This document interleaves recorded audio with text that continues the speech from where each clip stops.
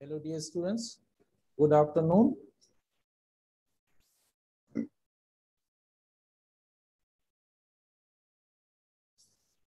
Good afternoon बेटा तो आज पेपर का टर्न है पेपर को डिस्कस करेंगे हम और पेपर में जो सिलेबस में चीज़ें हमने रखी थी वो चीज़ें आपको याद होंगी। वो हमने पेपर के अंदर आपको दिया। पेपर अच्छा किया है। काफ़ी स्टूडेंट्स ने। बहुत अच्छी रिज़ल्ट आई है।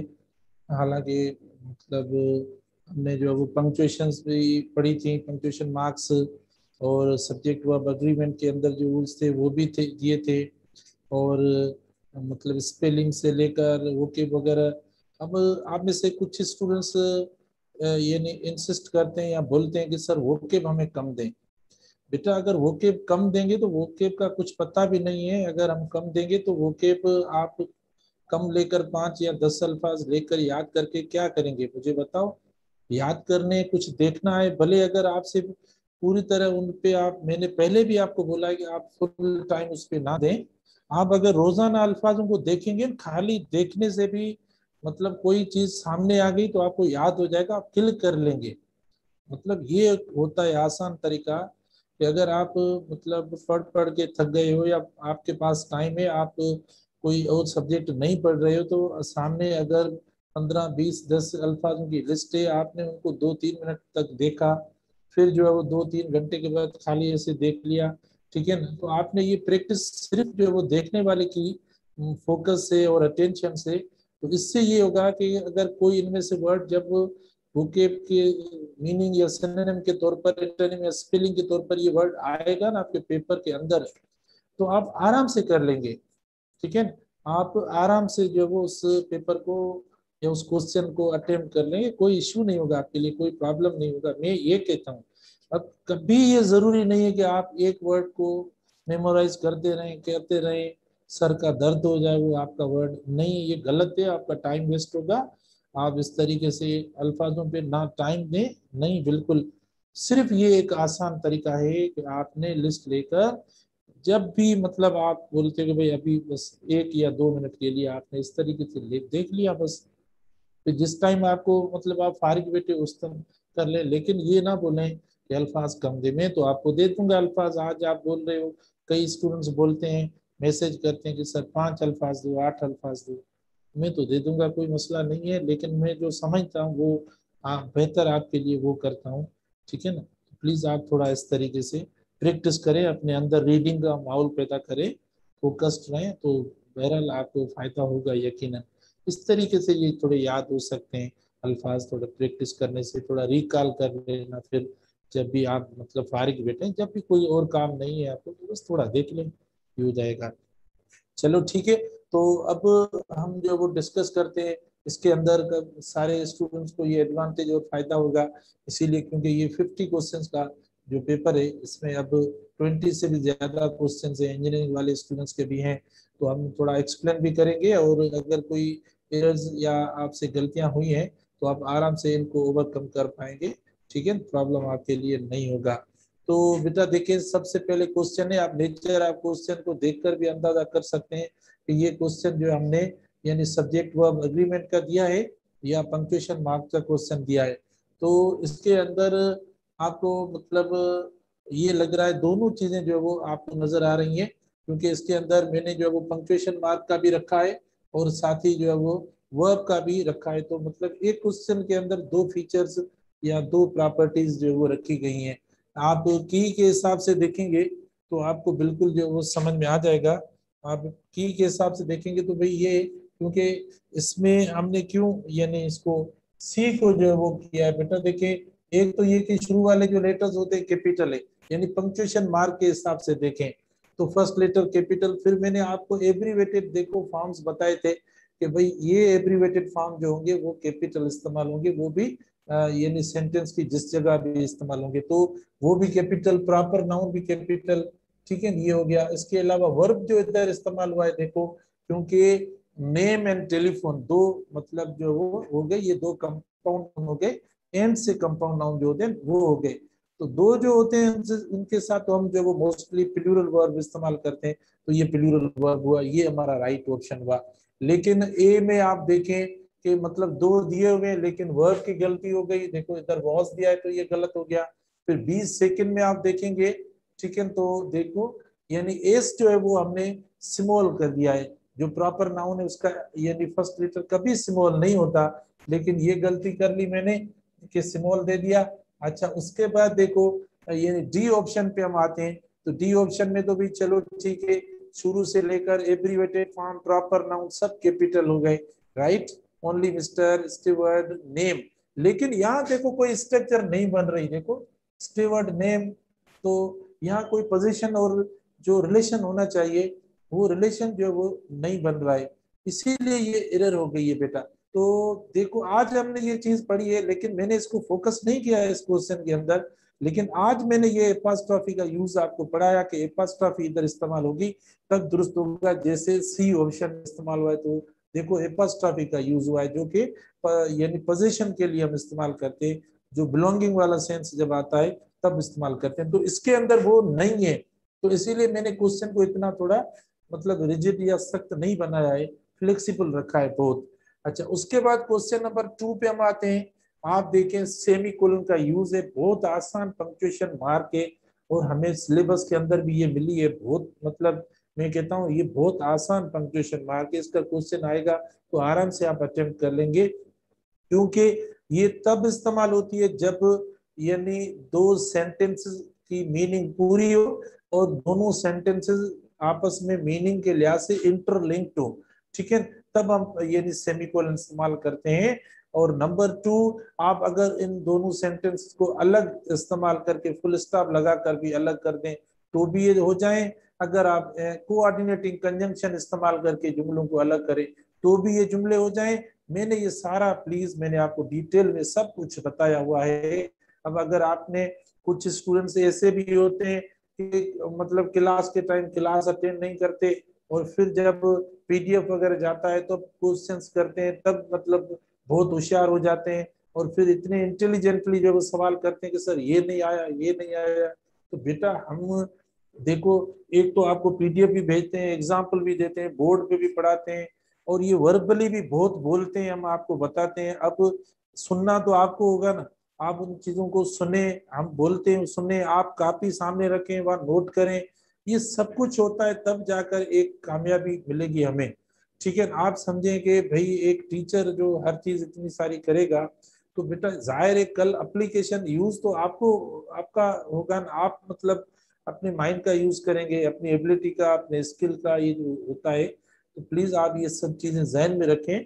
और अगर इतनी सारी आप तो चीज़ें डिमांड करते जाएँगे तो हम तो आपको जवाब देते जाएँगे, जवाब जवाब देते जाएँगे। लेकिन ये एक ईज लविंग जो मामला होता है ना, ये मामला बहुत खराब हो जाएगा।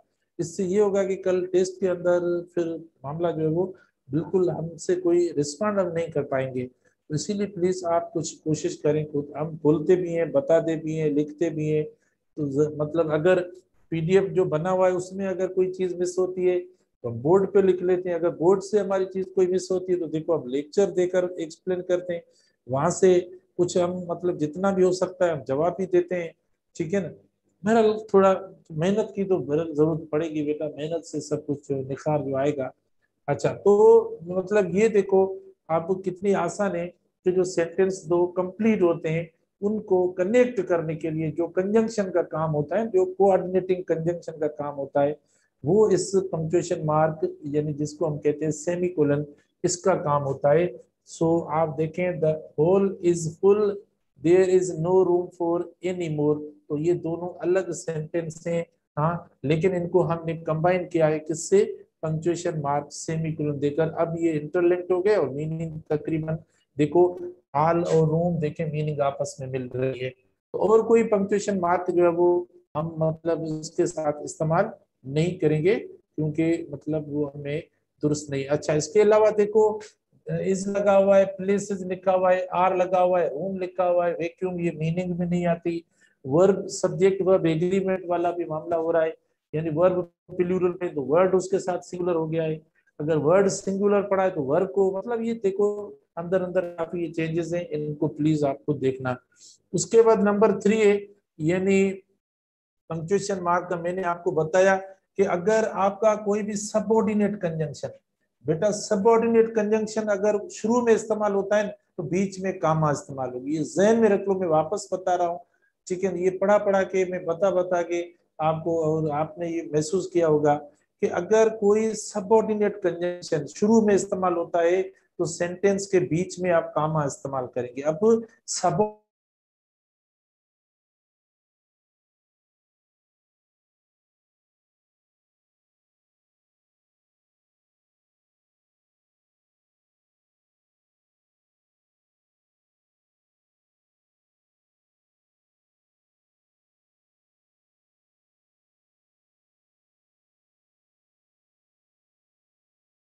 इस्तेमाल होगा तो आप के सेंटेंस के बीच में कामा इस्तेमाल होगी। अब सबऑर्डिनेट कंजंक्शन आप देखें।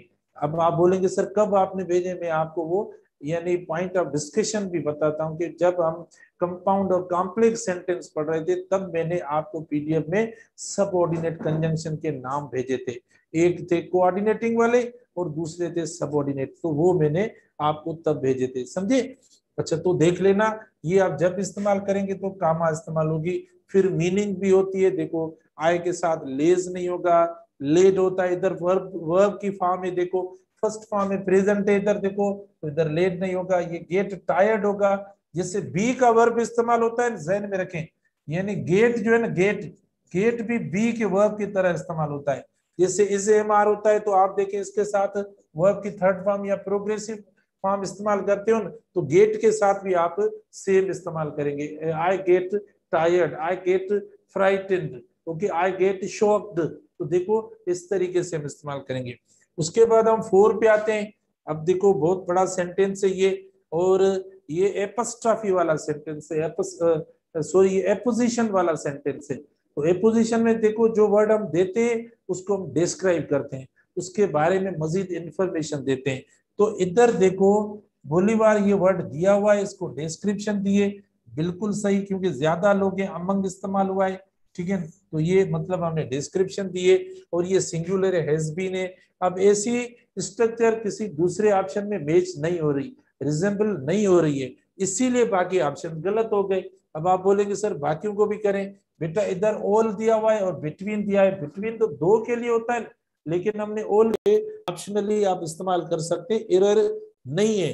अगर नहीं इस्तेमाल होती तो भी एरर नहीं है। एक बात तो ये दुरुस्त हुआ। नंबर टू देखो ये जो सब्जेक्ट्स के नाम होते हैं, इनका फ़र्स्ट लेटर कैपिटल होता है तो ये देखो कैपिटल भी कर लिया हमने। तो हर सेंटेंस रखा है, हर सेंटेंस की मैंने ड्रिल रखी है, ताकि वो उनका, हर यूज़ का जो वो मतलब इधर रखा है कि हर यूज़ आप जो वो अटेम्प्ट करें। ताकि आपको आगे प्रॉब्लम ना हो, अभी अगर इधर गलत हुआ है तो खैर। है अच्छा आप देखो, इधर ये बी ऑप्शन आपका गलत, इसीलिए इधर गलत हुआ है आपका नहीं, लेकिन मेरा गलत हुआ है बी ऑप्शन क्योंकि मैंने इधर स्मॉल लेटर लिखे जो कि गलत है। सी ऑप्शन आपका गलत हुआ है, इधर भी स्मॉल लेटर इस्तेमाल हुए डी में भी देखो स्मॉल लेटर इस्तेमाल हुए तो ये ऑप्शन जो है वो बिल्कुल सीधे पड़े इनके ऊपर मजीद ज़्यादा बोलना मुनासिब नहीं है। सिक्स पे हम आते हैं, आप देखो नंबर सिक्स सेंटेंस से आप देखो प्लीज़ कि सिक्स के अंदर वी हैव वही सेमीकोलन का यूज़ हुआ है। We have seen enough for one night pick up the equipment तो आप देखें, ये पिकअप द जो वो, क्या कहते हैं, यानी सेंटेंस का जो पार्ट है, ये इंपरेटिव पार्ट है। तो हमने तो आपको पहले भी कहा है, पहले भी बेटा देखो, मैंने जब आपको सेंटेंस और सेंटेंस फ्रेगमेंट पढ़ाया था थोड़ा याद करें, हर चीज़ को थोड़ा जहन में रखें। तब तो मैं क्लेम करता हूँ कि जो चीज़ें आपको भेजिए, वो आप मुझे वापस भेजें या शेयर करें। तो मैंने तब सेंटेंस और सेंटेंस फ्रेगमेंट में आपको डिफरेंस बताया था कि हरियप, मुझे आज वर्ड भी याद है। मैंने आपको एक वर्ड दिया था, हरियप। आपसे पूछा था, मुझे बताओ कि ये सेंटेंस है या सेंटेंस फ्रेगमेंट है। ठीक है? तो ज़ाहिर है आपकी आवाज़ तो नहीं आई, लेकिन जो कुछ थोड़ा था कि सर ये ऐसा हो रहा है लेकिन मैंने कहा, ये भी सेंटेंस है, भले वो इंपरेटिव है सब्जेक्ट नहीं लिखा हुआ, लेकिन जुमला होता है, क्योंकि जब वर्ब आ जाता है इंपरेटिव के अंदर तो वो मीनिंग दे देता है, और सब्जेक्ट ज़ाहिर है इंपरेटिव सेंटेंस के अंदर विजिबल नहीं होता तो इसीलिए ये आपको जो पेकअप द इक्विपमेंट मतलब उसको पे करो जल्दी, क्योंकि मीनिंग आ रही है तो हमने सेमी कोलन देकर इसको सेपरेट किया है, ठीक है ना? अगर दूसरा तरीका इसको समझने का सेमी कोलन का कि आप फुल स्टॉप लिखकर और आप जो वो कर देंगे तो भी ये हो जाएगा, ठीक है? तो भी आप इसको कर सकते हैं। यानी अलग हो जाएगा इंपरेटिव सेंटेंस अलग हो जाएगा, वो अलग हो जाएगा। इस तरीके से आपका ये दुरुस्त हो जाएगा। अच्छा अदरवाइज़ अदर ऑप्शन में जो पंक्चुएशन मार्क्स दी हुई है सेमी कोलन या कामा वो अपनी जगह और पोजीशन पे दुरुस्त नहीं है, वो गलत है। आप खुद देख लेना, आपको पीडीएफ पहले से हमने भेज दिया है। ठीक है बेटा, ये हुए आपके सेंटेंस सिक्स उसके बाद हम चलते हैं अगले पेज पर। ठीक है, अगले पेज पर देखें सेवन नंबर सेंटेंस है। तो सेवन नंबर सेंटेंस में आप देखें, यानी जो हमारा ऑप्शन सही हुआ है, वो बीस सेकंड सही हुआ है।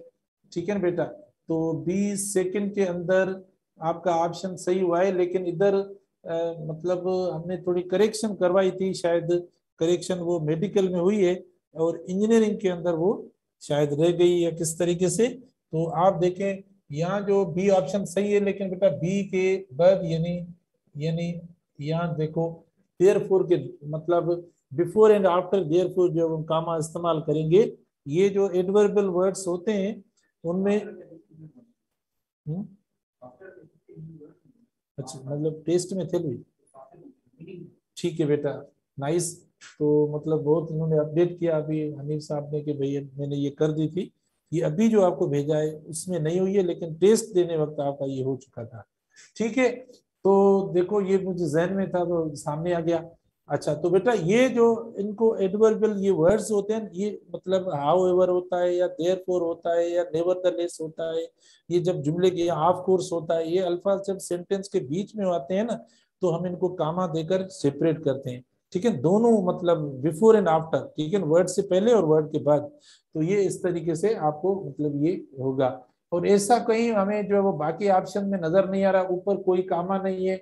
इसमें देखो, एक कामा सी में इस्तेमाल हुई है और डी ऑप्शन में तो बिल्कुल बहुत बड़ी इरत दी हुई है कि कोलन इस्तेमाल किया हमने, जो कि दर उसकी मुनासिब जगह भी नहीं है, लेकिन हमने वो इस्तेमाल कर लिया है। एट में हम देखते हैं बेटा एट सेंटेंस में कामा का यूज़ है। और वो भी दुरुस्त यूज़ होना चाहिए। और उसके अलावा देखो, मैंने देखो एक चीज़ पढ़ाई थी, नाउन में पढ़ाई थी ये आपको, कि भाई अगर आपका एक सेंटेंस प्लूरल है तो आपको प्लूरल रखना पड़ेगा पूरा जुमला। लेकिन हमने A B C D option जो है वो ए बी सी तीनों ऑप्शन के अंदर एक गलती की है कि कहीं जो है वो एक प्लूरल किया है तो दूसरा जो है सिंगुलर रखा है सिंगुलर रखा है तो प्लूरल रखा है तो मतलब एक रेंडम जो है वो मामला बनाए तो एक तो हमारी ये एरर आ रही है, देखो बाइसाइकिल इधर हुआ है, लेकिन आप देखें कार्स ठीक है, मोटरसाइकिल ये इस तरीके से हो रहा है। और इधर देखो, ये भी सिंगुलर हुआ है, ये प्लूरल हो गया आपका। तो ये मतलब एक तो ये एरर आ रही है, ठीक है यानी बी ऑप्शन के अंदर। सी ऑप्शन में भी मतलब इस तरीके से आप देखो, ये प्लूरल हुआ है और उसको नहीं किया है। तो एक तो देखो मतलब ये, क्योंकि हमारा वर्ब प्लूरल है तो स्ट्रक्चर भी हम प्लूरल करेंगे। राइट भले एंड आ रहा है, लेकिन तो फिर हमें पूरे सिंगुलर रखने चाहिए। लेकिन एक एक देखो प्लूरल इसके अंदर जो वो आ रहा है, जैसे ये आ रहा है। तो एक जो मतलब प्रॉपर और मुनासिब जो स्ट्रक्चर है उसमें एक बाइसाइकिल्स कार्स एंड मोटरसाइकिल देखो, ये हुआ। और इसके अलावा देखो कामा इस्तेमाल हुआ है, ठीक है और इधर देखो वर्ब भी गलत इस्तेमाल हुआ है सिंगुलर इज़ इस्तेमाल हुआ है बी बिल्कुल गलत हो गया है। लेकिन ए और सी के अंदर जो है वो हमने यानी जो इस्तेमाल किया है, वो सिंगुलर वर्ड इस्तेमाल किया है, जो कि गलत हो जाएगा, ठीक है more dangerous forms of transportation are bicycle cars and motorcycle तो इसमें जो है वो दोनों में ऑप्शन जो है वो हमारे दुरुस्त नहीं है, इसीलिए मतलब ये जो गलती हो रही है। और इधर फिर सिंगुलर वगैरह है तो आप देखो हमने आर्टिकल भी इस्तेमाल नहीं किया सी के अंदर ए में तो आर्टिकल ए भी इस्तेमाल किया हुआ है। तो ये डिफरेंस आप खुद देखना माइनर माइनर बिल्कुल डिफरेंस ऐसा होगा, ऐसा नहीं है कि बिल्कुल सेम लेकिन पूरा जो मुकम्मल अच्छा जुमला जो है वो ये हमें लग रहा है, कामा भी लिखी हुई है और प्लूरल स्ट्रक्चर भी है। सेंटेंस नंबर नाइन पे हम आते हैं बेटा, देखें। सेंटेंस नंबर नाइन के अंदर भी आप देखें पंक्चुएशन मार्क कामा का इस्तेमाल है। A man a child a girl and a two boys देखो, ये गलती हो गई। अ टू बॉयज़ कैसे होगा? टू तो प्लूरल वन अ तो वन होता है अ तो सिंगुलर होता है। तो ये इस्तेमाल ही नहीं होगा। इधर ये एरर हो गई। बीस सेकेंड में हम आते हैं। देखो he saw a man a child girl a child girl नहीं है बेटा, क्योंकि ये अलग है। चाइल्ड अलग है गर्ल अलग है, तीन है। क्योंकि ऊपर वाला स्टेटमेंट देखो, उसमें भी आपको नज़र आ रहा है। ठीक है तो ये अलग अलग है तो ज़ाहिर है इसको अलग लिखना पड़ेगा, हम सेपरेटली लिखेंगे। ठीक है तो ये बी में ये चक्कर हो गया, ये गलती हो गई। सी में आते हैं, हमने अलग तो कर लिया है। ठीक है बेटा सी के अंदर हमने देखो, सा मेन इसको अलग किया है चाइल्ड को अलग किया है। Girl and two boys walking on the road ये हमने इसको अलग किया है। अ मेन अ चाइल्ड तो इधर कौन सी एरर है? सिंगुलर देखो चाइल्ड जो भी नाउन सिंगुलर होगा, उसके साथ इंडेफिनेट आर्टिकल इस्तेमाल करें। Please recall my teaching on noun you will be quite easy to understand everything ठीक है? तो डी ऑप्शन जो वो बिल्कुल सही है। इसके साथ आर्टिकल कामा इसके साथ आर्टिकल कामा इसके साथ देखो, हमने आर्टिकल ये सिंगुलर तीनों के साथ, बिल्कुल अलग अलग है तो अलग अलग हमने आर्टिकल इस्तेमाल किया है सब्जेक्ट वर्ब एग्रीमेंट में मैंने पढ़ाया है, ठीक है ना? और और एंड इस्तेमाल टू वगैरह तो ये दोस्त ऑप्शन है। इसके बाद हम नंबर टेन पे आते हैं। बेटा नंबर टेन पे देखें तो मैंने आपको ऐसे कई अल्फाज पढ़ाए, उनकी स्ट्रक्चर इस्तेमाल की, बताया कि शुरू में ये ब्रेकिंग द कामा वाला फ्रेज है कि कामा देकर हम अलग करेंगे। तो being that I was sick हमने कामा देकर उसको अलग किया। I missed whole week of classes okay luckily I copied all the lecture notes from Linda तो आप देखें, ये हमने अलग किया। अब लकीली ज़ाहिर है मैंने, जैसे आपने ब्रेकिंग वाला सेंटेंस है ब्रेकिंग द कामा वाला सेंटेंस है जैसे आपने इस सेंटेंस को इससे, यानी अलग किया है ब्रेकिंग मतलब कामा देकर इसको अलग किया है। तो मैंने आपको बताया ऐसे वर्ड्स जो आते हैं luckily fortunately hopefully regretfully sadly ऐसे अल्फाज देखो हम इस्तेमाल कर दें, जुमला शुरू करने से पहले तो इनके बाद कामा देंगे, यानी sadly comma fortunately comma hopefully comma happily comma, ठीक है? तो मतलब ये देकर फिर जो है वो हम सेंटेंस स्टार्ट करते हैं। तो ये इसी सेंटेंस का हुआ तो ये एक सेंटेंस ये हुआ, एक सेंटेंस ये हुआ, दो हो गए। इन दोनों को कनेक्ट करने के लिए हमने देखो पंक्चुएशन मार्क सेमी कोलन का यूज़ किया, जो कि इस्तेमाल होता है। तो इधर देखो अलग बात हो गई, भाई फुल स्टॉप आ गया और फिर ये मतलब बनता नहीं आपस में। इधर सेमिकोलन आया तो एल बड़ा यानी कैपिटल क्योंकि सेमी कोलन मतलब उसके बाद लेटर जो इस्तेमाल करेंगे, वो स्मॉल इस्तेमाल करेंगे। अच्छा डी में आप देखें, हमने सेमिकोलन इधर भी इस्तेमाल किया, इधर भी इस्तेमाल किया। तो लकीली कौन सा पूरा जुमला है कि हम हर जगह पर जो सेमिकोलन का यूज़ कर रहे होते हैं। तो ये तो एरर हो गई ना, आप उसका पर्पज और जो है वो नेचर समझें कि किस तरीके से इस्तेमाल होता है। उसके बाद नंबर इलेवन पे हम आते हैं। बेटा, इलेवन नंबर पे आप देखें कि हमने जो उसको इस्तेमाल किया है, वो यानी ये एपोजिशन वाला है। देखो, ये एपोजिशन वाला सेंस है ये दो प्रॉपर नाउन्स हैं। इनको जो हमें सेपरेट करना है यानी इनको डिस्क्राइब करना है, इनके बारे में जो हमें मजीद एक्सप्लेन करके बताना है। तो ये ना ए ऑप्शन में, बी ऑप्शन में चलो हमें नज़र आ रहे हैं। फ़र्स्ट तो इस्तेमाल हुई है लेकिन सेकंड नहीं इस्तेमाल हुआ। तो सी ऑप्शन में जो है वो राइट ऑप्शन है क्योंकि सी में देखो कामा इधर भी दी हुई इधर दी हुई है और ये डिस्क्रिप्शन पूरी अलग इधर पड़ी हुई है। ठीक है ना? ये राइट ऑप्शन है। तो डी ऑप्शन देखो यानी हमारा डी ऑप्शन तो पड़ा है लेकिन डी के लास्ट में जो है वो यानी फुल स्टॉप नहीं है। इसीलिए प्रॉब्लम हो रहा है। नंबर ट्वेल्व पे हम आते हैं आप देखें। नंबर ट्वेल्व के अंदर भी आ, मतलब हमें यही जो है वो मतलब फील हो रहा है या नज़र आ रहा है कौन सा, यानी एपोजिशन वाला फॉर्म है बेटा। ज्यूरी आप देखें विच बीन तो ये सिंगुलर के तौर पर इस्तेमाल हुआ है ना। वर्ब की गलती है मतलब सब्जेक्ट वर्ब एग्रीमेंट वाला भी नेचर सेंटेंस का है। तो इधर वर्ब मतलब गलत इस्तेमाल हुआ है। इधर प्लूरल वर्ब इधर सिंगुलर गलती हो गई देखो। मतलब डिसऑर्डर हो रहा है वर्ब का। अच्छा बी सेकेंड आप देखिए पूरा सही है विच हैज़ बीन इसको अलग भी किया गया है। एपोजिशन के हिसाब से और प्लस में देखो, ये भी सिंगुलर फॉर्म है वर्ब का ये भी सिंगुलर है, दुरुस्त है और बाकी जो भी दिए गए, अगर इधर देखो हेज बीन हेज है तो इधर हेव हो गया है राइट अगर इधर देखो, यानी हमने हेज इस्तेमाल किया है तो वर्ब तो चलो ठीक है, लेकिन देखो हम कामा देकर सेपरेट करें ना एपोजिशन वाला फॉर्म वो नहीं दिया गया तो इसीलिए यहाँ भी इधर जो है वो गलती हो रही है तो बी सेकेंड जो है वो उसका राइट ऑप्शन है, ठीक है तो ये वो आपका बारहवा सेंटेंस उसके बाद हम चलते हैं सेंटेंस नंबर थर्टीन के ऊपर। बेटा सेंटेंस नंबर थर्टीन देखो, यानी ईच ऑफ़ अस ठीक है एक तो वर्ब का भी होगा और नंबर टू ये भी एपोजिशन वाले फॉर्म में पढ़ा है और इसको एक्सप्लेन किया गया है। तो वो हम मतलब एक्सप्लेनेशन वाला जो होता है यानी उसको सेपरेट करके कामा वो फ़र्स्ट में नहीं है सेकंड में तो सेकंड ईच के साथ वर्ब प्लूरल थोड़ी इस्तेमाल करेंगे। इसीलिए हमारा सी ऑप्शन जो है वो राइट हो रहा है। अच्छा डी ऑप्शन में आप देखें कि ईच ऑफ़ अस अच्छा और देखें प्रेपोजिशन जो हम इंशाल्लाह कल कोशिश करके मैं प्रेपोजिशन शुरू करवा दूँगा आपको पढ़ाना, जो कि बहुत इंपॉर्टेंट टॉपिक है प्रीपोजिशन और वो हम इनशाला कल से शुरू करेंगे। प्रीपोजिशंस को कवर करना, उनको ग्रिप में लाना, ये मतलब बहुत बड़ी मतलब बात होती है। जादू वाला काम होगा, अगर ये कर लेंगे तो मतलब जैसा कि हमने प्रीपोजिशंस को अंडरस्टैंड कर लिया। तो इनशाला कल से मैं कोशिश करूँगा कि हम प्रीपोजिशंस को भी पढ़ें, जो कि बहुत मुश्किल समझा जाता है टॉपिक ग्रामर के अंदर, लेकिन देखते हैं कि मतलब किस तरीके से इसको भी हल करें।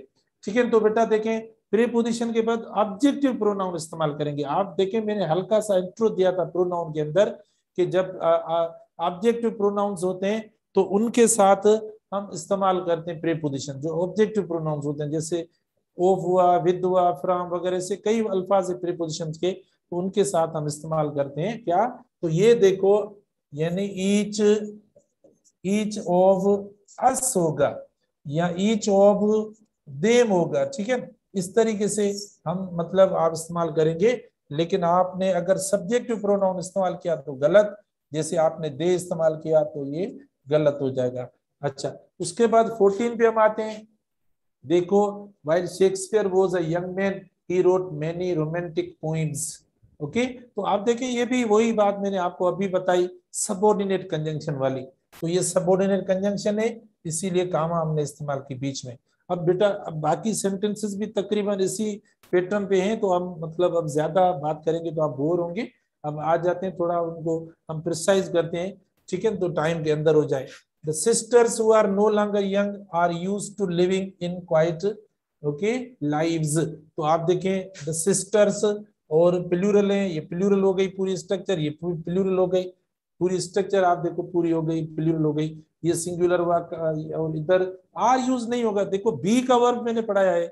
जब भी होगा, या तो इंग फॉर्म में इस्तेमाल करें पार्टिसिपल फॉर्म इस्तेमाल करें, या पास्ट पार्टिसिपल इस्तेमाल करें थर्ड फॉर्म सिक्सटीन पे हम आते हैं। देखो the new movie has a number of actors who have been famous on Broadway देखो, इसके लेफ़्ट साइड में प्लूरल है, इसीलिए हमने हैव बीन इस्तेमाल कर लिया।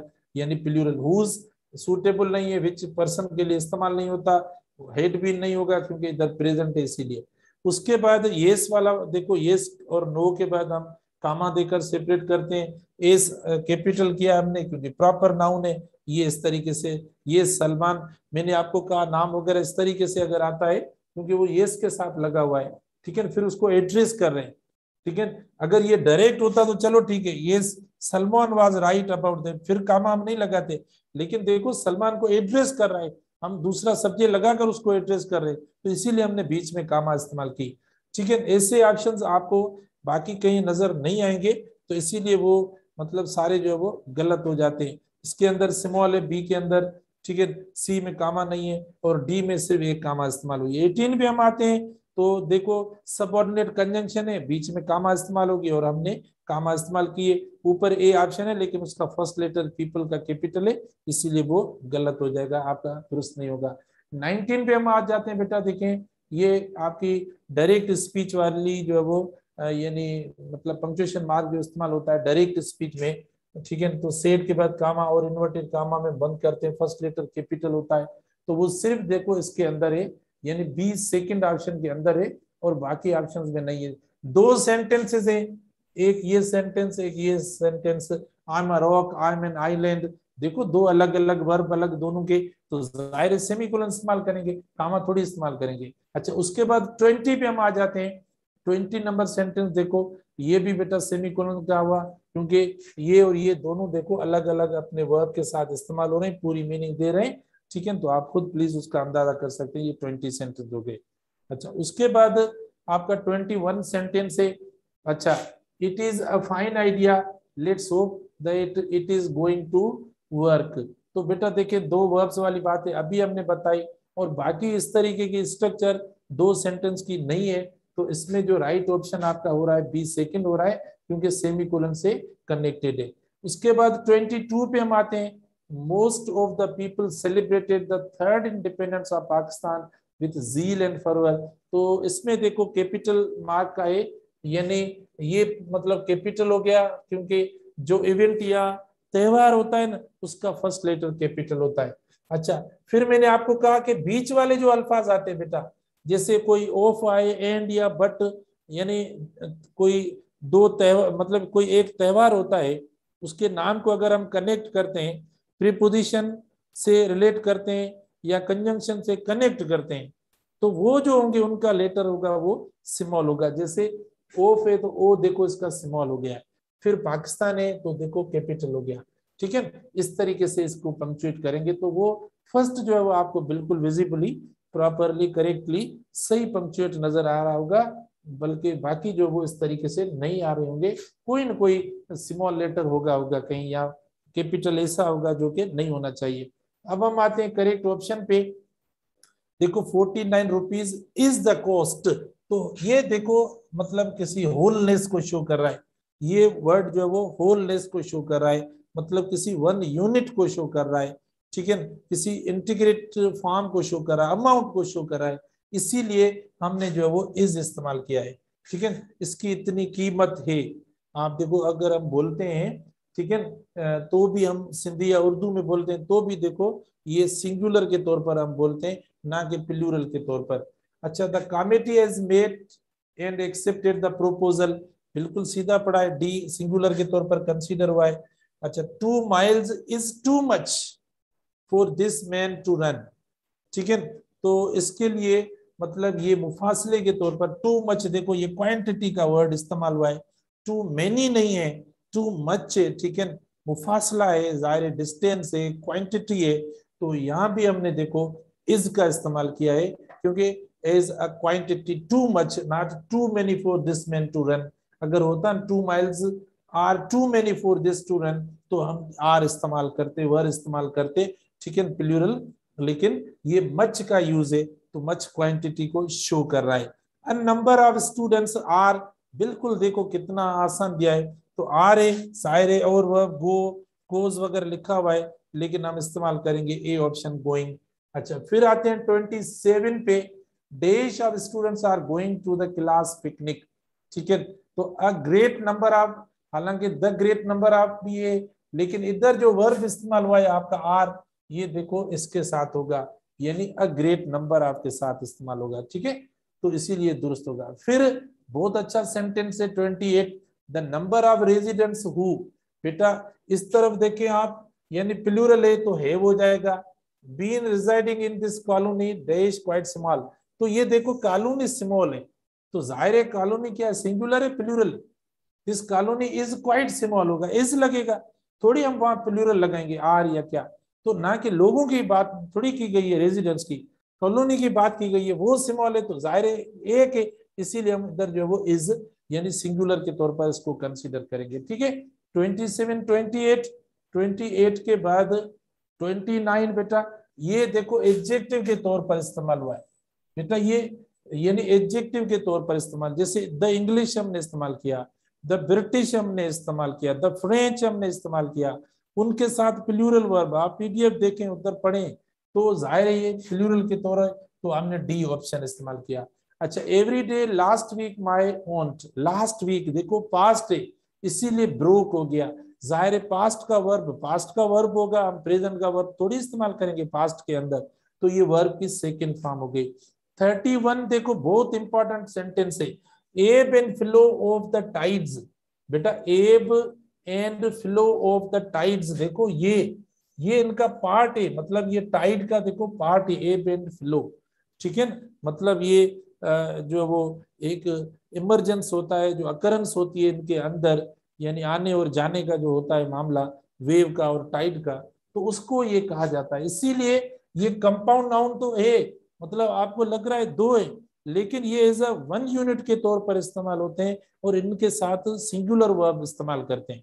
ठीक है सिंगुलर वर्ब जो ब्रेड एंड बटर वाले आपको रूल्स पढ़ाए थे तो ये उसके हिसाब से यानी आप सी इस्तेमाल करेंगे। और फिर देखो द एब एक मतलब आर्टिकल वगैरह एक के साथ लगा हुआ है। दो के साथ नहीं यूज़ हुआ है। अगर दो के साथ होता तो हम प्लूरल वर्ब इस्तेमाल करते लेकिन ऐसा कुछ नहीं है।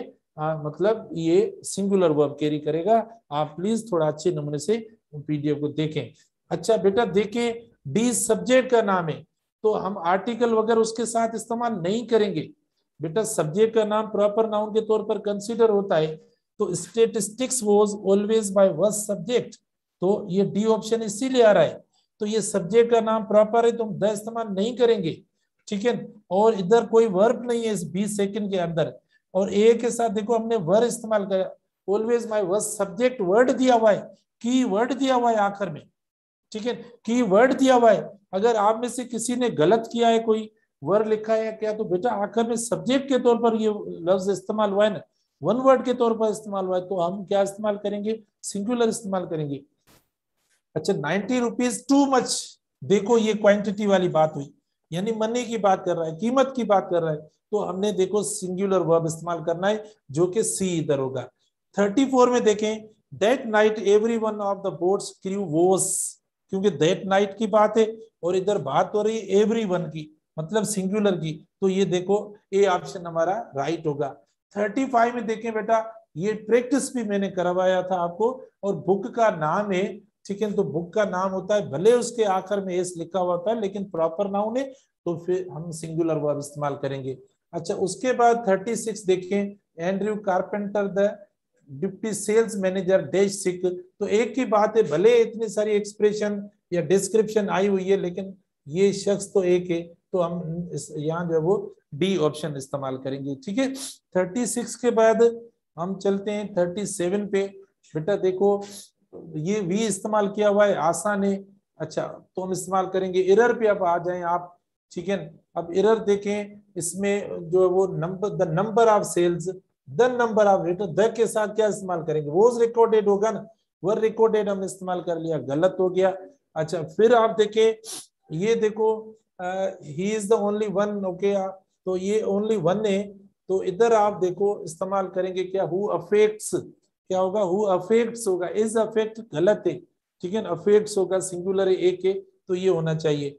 उसके बाद देखो, ये नहीं, यहाँ मतलब बहुत ज़्यादा है, देखो रिएक्शन है सिवियर रिएक्शन रिएक्शन है सॉरी ज़्यादा है तो हमने देखो, इधर डी ऑप्शन सिंगुलर कर दिया है इसको आप प्लूरल कर देंगे, ये प्लूरल हो जाएगा। उसके बाद हाफ़ ऑफ़ द स्टूडेंट्स देखो आर होगा, क्योंकि इसके साथ ये पोर्शन वाले वर्ड से इनके साथ जैसा सब्जेक्ट होगा, जैसा वर्ड होगा, वैसा वर्ब आप इस्तेमाल करेंगे, ठीक है ना?